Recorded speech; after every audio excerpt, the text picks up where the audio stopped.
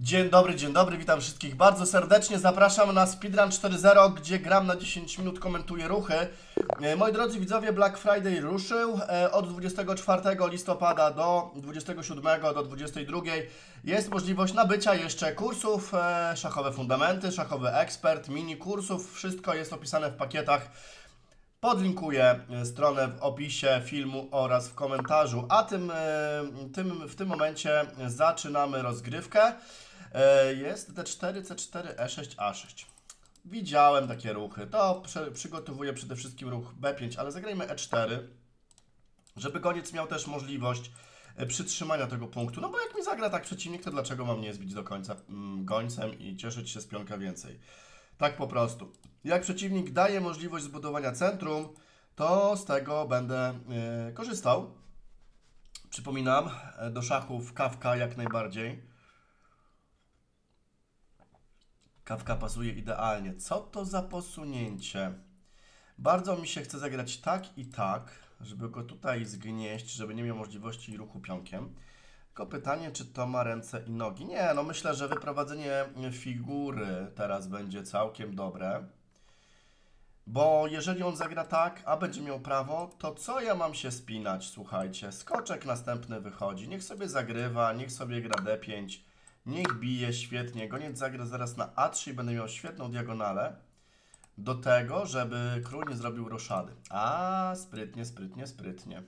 Tylko, że teraz mam ciekawą możliwość zagrania ruchu C5. Ten ruch y, gram po to, y, bo y, że jako zagra tak, tak, to wymienię, a mam zdwojone pionki, więc drugi może iść w natarciu. Ale teraz zagram tak. I już mu nie pozwolę zagrać tu. I zwróćcie proszę uwagę, że jak skoczek by zagrał tu, to zawsze mam C4. Skoczek G6, ok. Zadbamy o to, żeby wyprowadzić kolejną figurę. B6. Wiadomo, przeciwnik będzie chciał się tutaj troszeczkę y, rozdmuchać z tej strony. I teraz mam takie, taki dylemat, bo teraz mogę zagrać tu. Myślę, że to jest niezły ruch. Po wybiciu wybiję gońcem.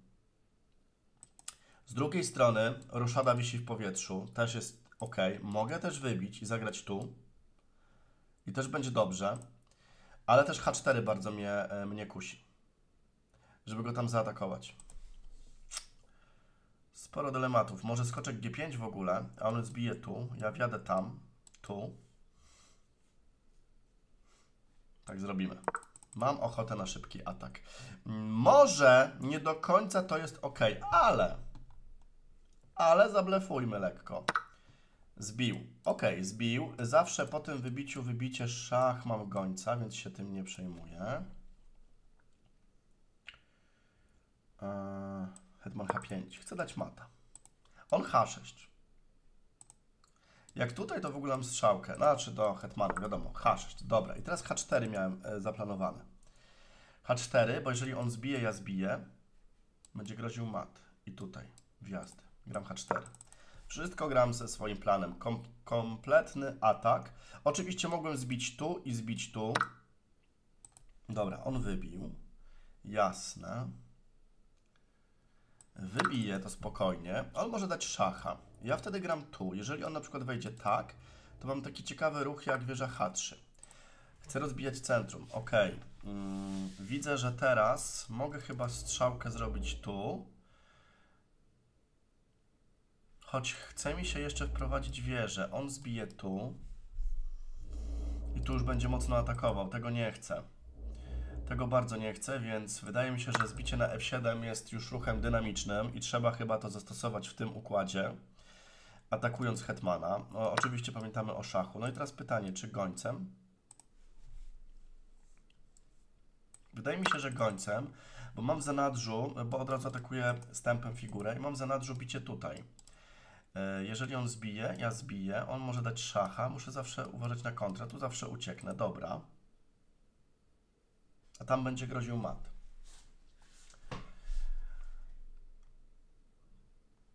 Myślę, że atak jest niezły. Oczywiście zawsze możemy sobie mówić, a brakuje mi tutaj jeszcze jednego ruchu czy coś. Jasne, chciałbym mieć wieżę tu, żeby ona już była aktywna i schowanego króla. Nie można mieć wszystkiego. E, Tak jak już mówiłem, ten atak jest nieco szalony. Mm, Teraz tak, jeżeli zbiję tu, On tu, on tu i on na przykład tak, albo tak. Będzie bronił i zagra hetmanem. Więc wydaje mi się, chociaż zbicie, hmm. no właśnie, hmm. w sumie ja mogę też zrobić kulturalną roszadę. Wiecie co? Zrobię roszadę, mimo wszystko. Nie pójdę na atak na siłę. Zrobię, schowam króla, figury porówno, pionki 2, 4, 6, 2, 4, 6. Ja atakuję, on ma dziury w obozie. C5, ruch myślę, że bez sensu. Ok, on mi rozbija centrum, które nie ma teraz żadnego znaczenia. Zastanawiam się teraz nad biciem, biciem, biciem. Hetman. No tu zawsze odbicie, czy hetman tu nie ma znaczenia. Chodzi o to, że on tam może wejść.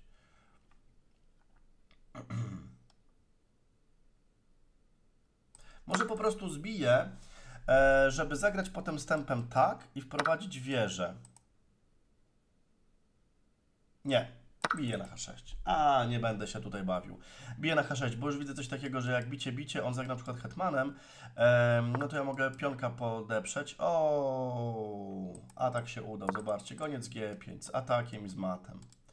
No to przeciwnik kompletnie nie ogarnął. Ja tu się wysilam i szukam dla niego dobrych odpowiedzi, a on dostaje mata. Lecimy z kolejną partią. Przeciwnik chciał rewanż. Kurczę, nie zdążyłem zaakceptować, już szukałem kolejnego. Jest ruch E4.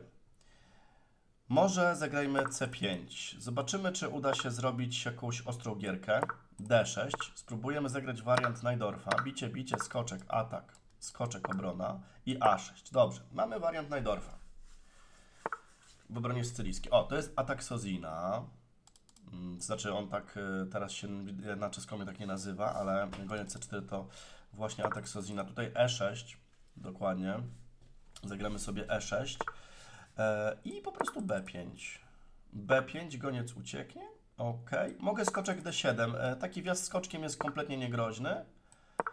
E, a figury wyprowadzamy sobie w sposób bardzo naturalny. Planem teraz jest na pewno hetman C7, bierze C8, skoczek C5 z atakiem na pionka. Oczywiście przestawiamy te figury. Trzeba brać pod uwagę jakieś bicie tutaj na B5, ale to póki co nie działa. Ten goniec powinien też się schować na A2, a nie stać na D3. To jest plus dla czarnych. Więc jest ok.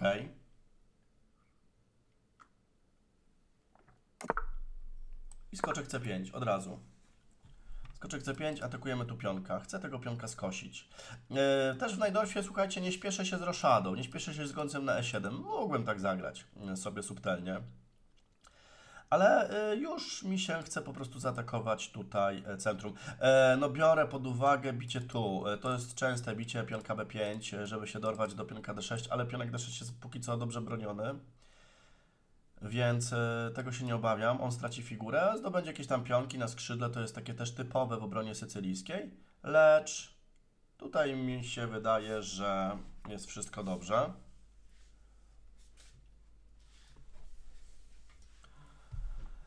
Słuchajcie, moi drodzy, lajki, proszę też o lajki, dawno tego nie robiłem, komentarze mile widziane, to łapie zasięgi na polskim YouTubie, to jest też forma wsparcia dla twórców e, i to też napędza. Wiem, już na YouTubie jesteśmy sporo czasu. Zbił, jednak zbił.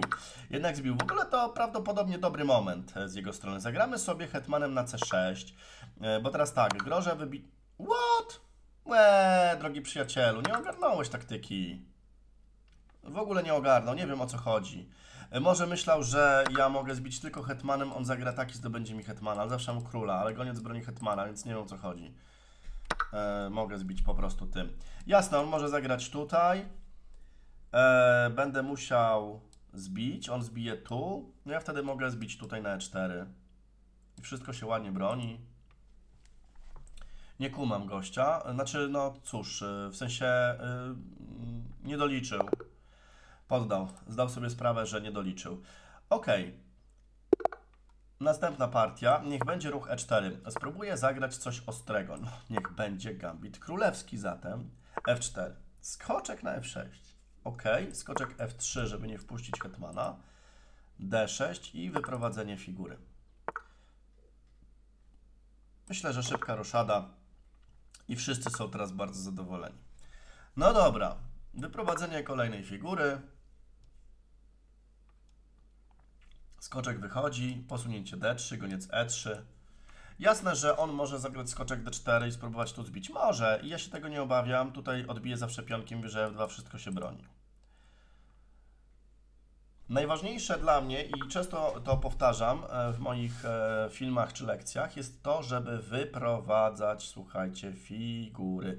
Bardzo mnie teraz kusi zbicie na F7, to jest takie typowe, gdy w tych schematach takich E4, E5 skoczek idzie na bandę. W starych partiach to e, jest często zauważane, słuchajcie, i to też warto te stare partie oglądać. Tutaj bicie, bicie, tutaj, to się fajnie otwiera król. Wiecie co, zagram tak intuicyjnie. Nie widzę tutaj opcji, żebym mógł od razu wygrywać, ale intuicja mi podpowiada, że tak trzeba zrobić. Bo aż grzech chyba tego nie wykorzystać. No i tutaj się otwiera linia. Oj, tym bardziej mi tutaj przeciwnik pozwolił wjechać do jego obozu. Nie wygląda to już dobrze.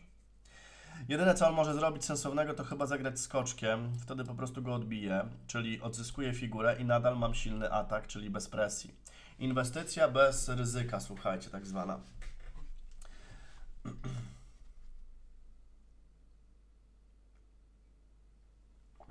Jak tutaj, to tutaj, jak tutaj, to mat na D5 hetmanem. No jedyne co, to on musi zagrać, no to jak wolał dostać mata. Czasami to jest też wyjście. Lecimy dalej. Słuchajcie, nasz ranking już się zbliża do 1600, także te partie będą coraz ciekawsze. Znaczy już są, uważam, ciekawe. Niech będzie dalej ruch C5.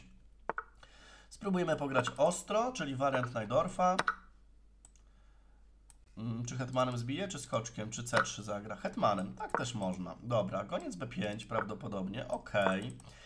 Fajnie, że powstał ten debiut, dawno nie, e, nikt tak nie grał. E, Dobrze. I myślę, że skoczek na F6 kulturalnie. Jak E5 to bicie. Dobra, E6. Tu się nie boimy tego związania, absolutnie. Goniec E7, nie boimy się też tego zagrania. Bardzo chętnie zbijamy. I myślę, że pozycja tutaj jest miodek. E, Teraz tak się zastanawiam, czy hetman B6, czy hetman B8 z próbą wymiany, czyli zagranie z tempem. Możliwe, że hetman B6, ale hetman B8 mi się podoba. Nie chciałbym też przesadzić, ale hetman B8 mi się bardzo podoba. Goniec fajnie pilnuje, mam parę gońców, skoczek nie wchodzi, to jest fajne. Yy, Wymiana w ogóle hetmanów jest super dla czarnych z uwagi na parę gońców między innymi. Zaraz mogę trzasnąć tam, yy, zepsuć mu pionki. Jeszcze czeka mnie zrobienie roszady. W ogóle jak bicie tu, to bicie pionkiem yy, i sobie zostawię króla w centrum. Ok. Jest zagranie hetmanem na A5. Yy, Na C7 nie zagram. Zrobię po prostu roszadę, schowam króla. Nic się wielkiego nie dzieje. Zagrał mi tu i mnie atakuje. Sprytnie. Sprytnie. No, Nawet mogę chyba tak spróbować, chociaż bicie, bicie, tu, tu, tu, trochę się to, ale tam hetman na 4 fajnie potem wchodzi. Dobra, chowamy tego gońca. Może to się wydawać bardzo dziwne, słuchajcie, ale gońce są bardzo niebezpieczne i takie, no, to są figury, które mogą nieźle przeszywać. E, teraz uciekam tak, żeby tu skoczek mi nie wlazł i teraz muszę hetmana swojego uruchomić. Znaczy jeszcze wydaje mi się, że tak zagram. Żeby goniec sobie uciekł. Ok, zawsze nie broni pionka F4. Myślę, że taki ruch. Coś w tym stylu trzeba teraz spróbować tymi pionkami zrobić. Tego hetmana przegonić. Hetman chyba ma jedyne pole tu. A i prawie hetmana złapałem. Ok, i hetman C7 wydaje mi się, że jest w porządku. Hetman C7 teraz, żeby zagrać wieżą na C8 i uderzać tam. E, Oczywiście taki ruch jak skoczek na B5 e, widzę, że jest możliwy. Wtedy chyba hetman C5. No bo tego gońca nie chcę wymieniać ze skoczka raczej. Wow, bardzo y, odważny ruch. Jak zbicie tu, zbicie tu to szach, ale bicie tu to bicie tu. On będzie chciał tu mnie atakować. Słusznie zresztą. Bierze C8. Bierze C8, bo już groży na przykład takim ruchem. Ok. Bicie. On musi zbić gońcem. Nie może pionkiem, bo straci skoczka. Nawet chyba taki ruch jest ciekawy, chociaż on bije tu wtedy.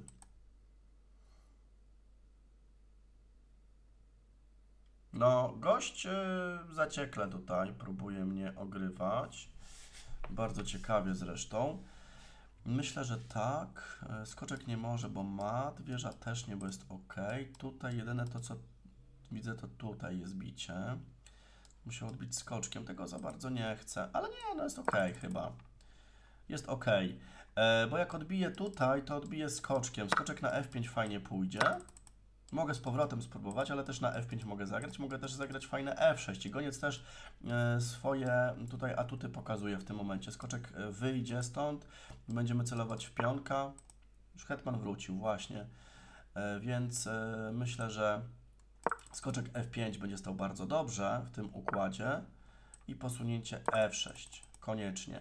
E, skoczek może wejść, oczywiście bicie, bicie, może król F7 nawet, chociaż hetman tutaj trzeba uważać na podwójne szachy. To jest kwestia policzenia. Ale po tym posunięciu bicie, bicie, no właśnie. Hmm, w sumie może trochę źle zagrałem ten ruch F6, teraz tak patrzę. E, choć teraz tak, tu, tu, tu, tutaj i wieża H8. Jak bicie tu czy tu, tu, tu, tu, skoczek nie wchodzi. Dobra, to się zgadza. Bijemy. Tutaj, bicie to tutaj. Król F7.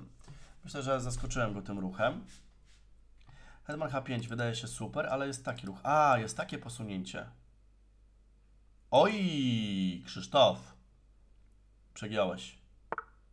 Nie zagrał. Słuchajcie, oj, było gorąco. Aha, przecież ja też miałem bicie na F4. Czy ja mogłem to zrobić od razu? Oczywiście mogłem zbić tu na F4, nie zauważyłem. Ślepota. Ślepota Krzysztofa. Yy, w takim razie spróbujemy zredukować trochę figury. Mój tutaj pancerz jest świetnie ustawiony. Przeciwnik nie chce wymiany. Słusznie. Więc e, hmm, tu muszę obronić. Myślę teraz jak, a może tak nawet zagrać. Zagrajmy tak i bronimy. B5, B4 i tu będziemy uderzać mocno. Czyżby widełki, drogi przyjacielu? Czyżby, czyżby widełki mi podstawił przeciwnik? Chętnie skorzystam. Bardzo ciekawie grał te e, obrony stylisku gość, naprawdę. Bicie tutaj, tak? No tak, to jest jakaś tam jedyna szansa, żeby mnie tutaj załatwić, ale wracam i jak hetman wróci, to mam wieżę G8. On to widzi. Widzi, ale gra mimo wszystko.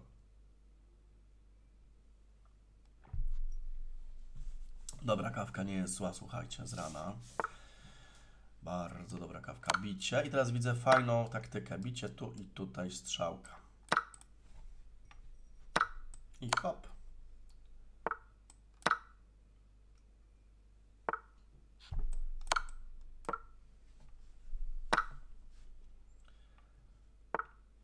No to z powrotem, zaraz wezmę tego. To już oczywiście nie muszę komentować. Każdy z nas by tę partię spokojnie wygrał.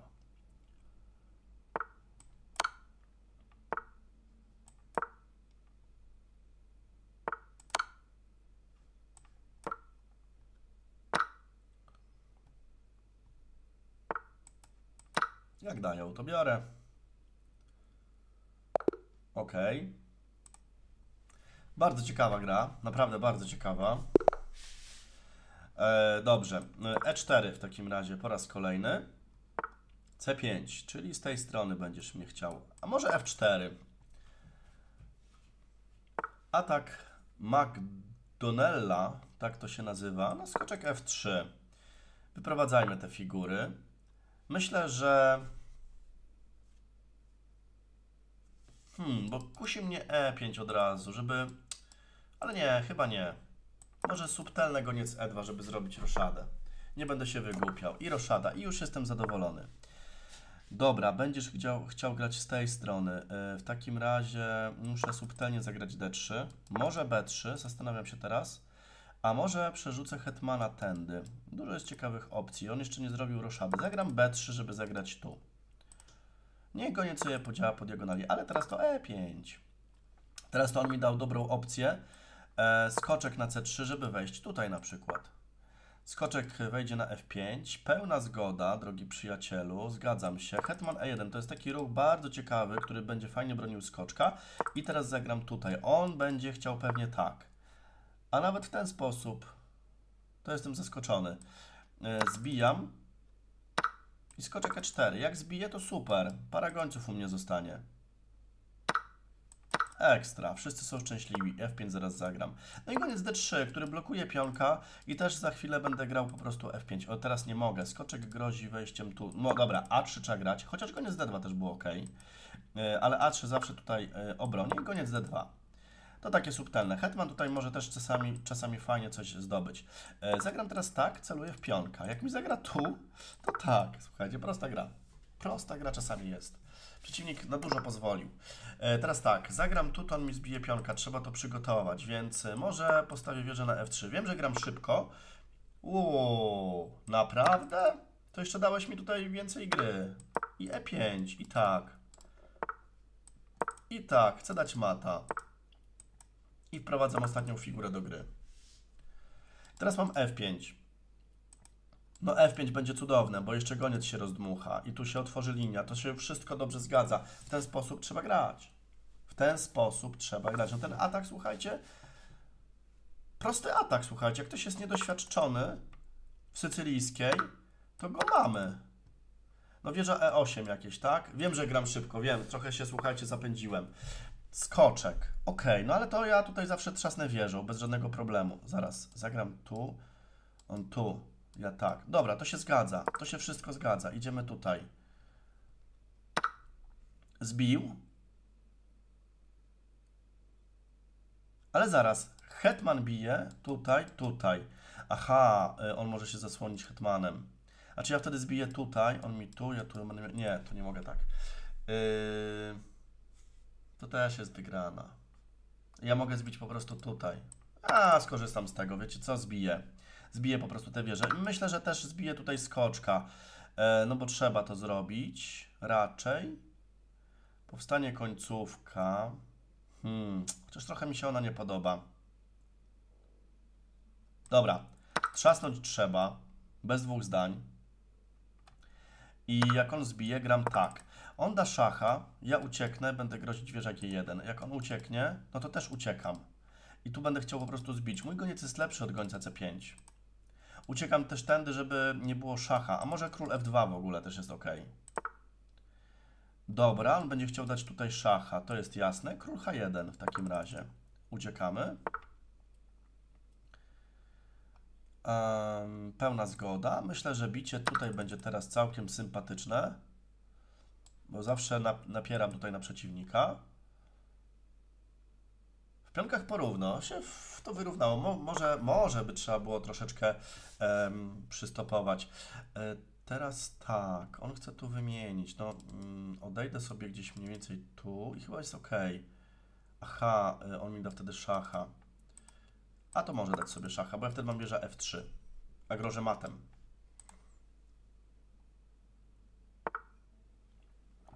U, no to chyba wygrywam po tym ruchu.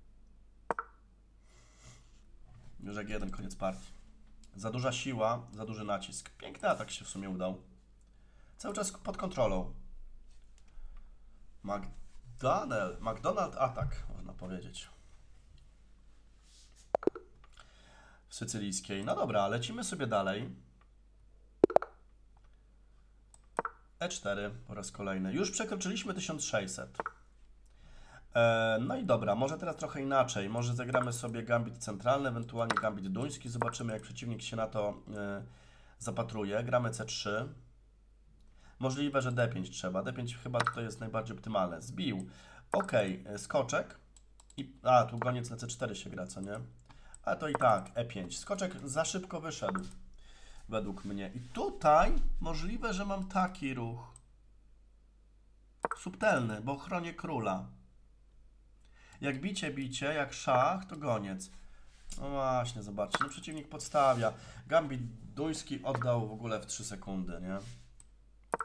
I wracam. Figura więcej. No nie, no tutaj jest koniec partii. To, zobaczcie, zadziałało na gościa, tak? Szybka roszada, problemy z głowy.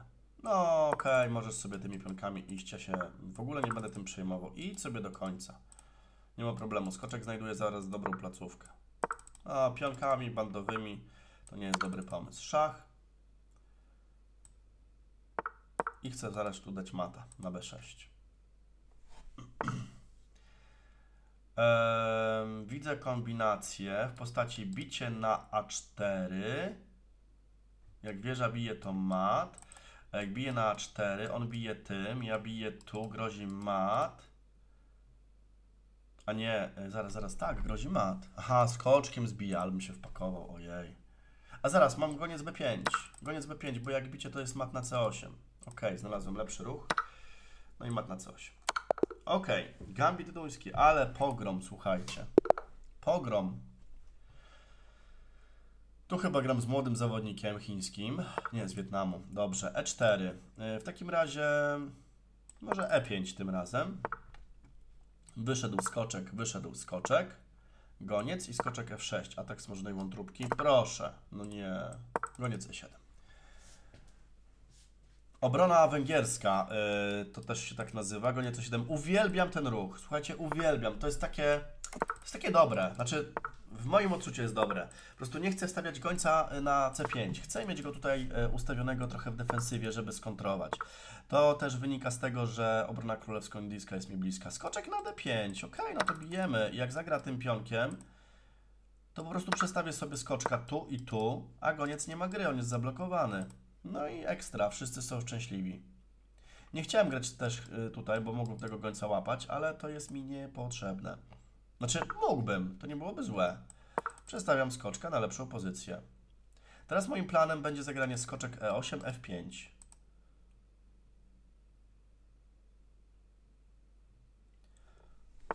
Lepszych planów nie widzę. Przeciwnik gryzie. Słusznie. Bardzo dobrze. Jest posunięcie E4. Może tak zagrać. E, więc moja koncepcja trochę się zmienia. Muszę wieża E8, żeby asekurować pionka. Pewnie F3. Może i nie. Może zagram H6. H6. H6, żeby goniec nie miał tutaj wejścia. Ewentualnie może goniec zagrać tutaj, ale wtedy zagram gońcem na F8 i tego pionka będę bronić, bo on się na tego pionka nastawia, widzicie? Wszystko się zgadza, on się nastawia na pionka. No i goniec F8. I teraz nie ma tego związania i skoczek może sobie spokojnie pilnować. A ja za chwilę zagram tak i kropnę tego pionka. Znaczy się nastawię na to. Nastawię się na to. Czasami też G5 mam możliwość. Ok. Aha. To G5 wydaje mi się, że może być dobre. Zagrajmy G5. To, że odsłaniam króla, to dla wielu może być zaskoczenie, ale tu się naprawdę nic nie dzieje. I goniec na G7. Trochę pod królewsko-indyjską podchodzimy. Mm, Dobra, goniec na H2. No i co? I wszyscy są zadowoleni? Hetman C2, co? No właśnie, ale uparciuch.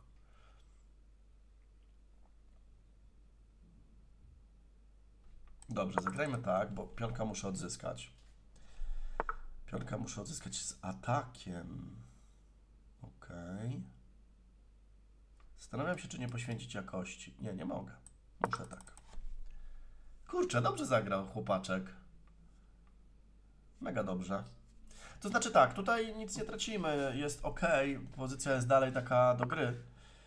A, bardzo ładnie to zrobił, naprawdę bardzo ładnie, ale gram tak, bo goniec pójdzie tutaj, y, go zbije, będę miał ruch B5 taki ciekawy, na rozbicie troszeczkę, tak, tutaj wybijemy to, Y, bo jak zbiję tutaj, to mam ruch B5 i od razu gram, y, się nie będę też czaił, bo po tym wybiciu mogę wybić. I tu będzie pionek cały czas słaby, skoczek będzie miał możliwość wybicia, a też chodzi o rozbicie właśnie tych pionków. Zastanawiam się, czy to nie jest dobre. Nie, myślę, że tutaj trzeba wybić, bo jak on bije, to wieża B8 i odbijam na B2. ok, to się zgadza. To się wszystko dobrze zgadza. Pionki słabe.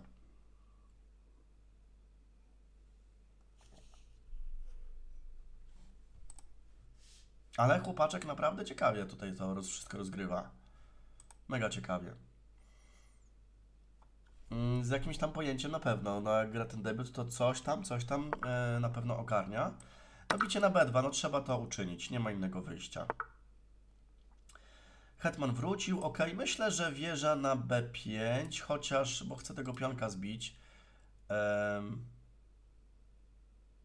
A może wieża B6?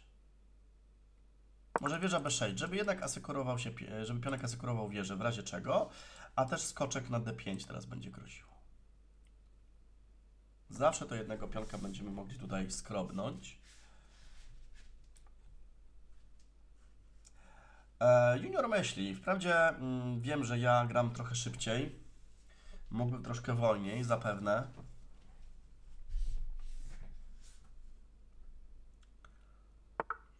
Ok, zagrał tutaj. Myślę, że taki ruch będzie ok. Żeby tu celować. E, tu się broni. Oczywiście jak wezmę tutaj na D5, to stracę tego, ale potem on straci tego i zyskam pionka. A ten goniec nie gra, bo jest e, zablokowany przez pionki. Cenna informacja. Trzeba uważać oczywiście na wolnego pionka. Ok. Ale zaraz, to ja mogę tak teraz zagrać. Skoczek zagra na F1. I ja mogę zbić tu. On zbije tu, ja tu. I w ogóle będzie wygrana kompletnie. Tak jeszcze ewentualnie gość może sobie pomyśleć. A to ja wtedy biję do końca.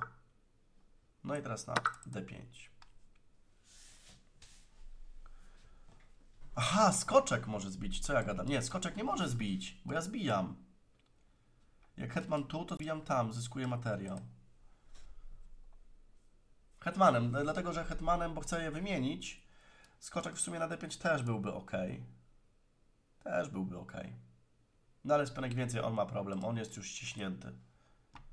A moje figury zaczynają żyć, zaczynają oddychać, już zaczynają e, łapać dobre punkty, więc e, samo przez się mówi się, że pozycja musi być dobra czarnymi.